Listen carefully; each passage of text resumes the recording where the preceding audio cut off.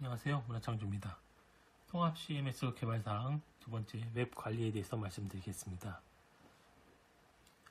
웹을 통한 뭐 관리 시스템, 게시판, 검색, 광고, 컨텐츠 관리, SMS 관리, 관리자 로그, 쿠폰, 메일 관리 등 일반적인 어, 웹에서 할 수 있는 CMS 사항을 요구합니다.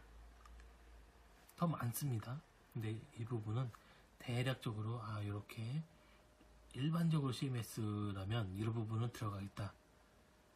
예, 더 추가적인 부분들은 더 리스트화 시키고 목록화 시켜서 표로 이렇게 정리를 해서 이 개발 사항에 웹 관리 요구 사항으로 기술을 하면 되겠습니다.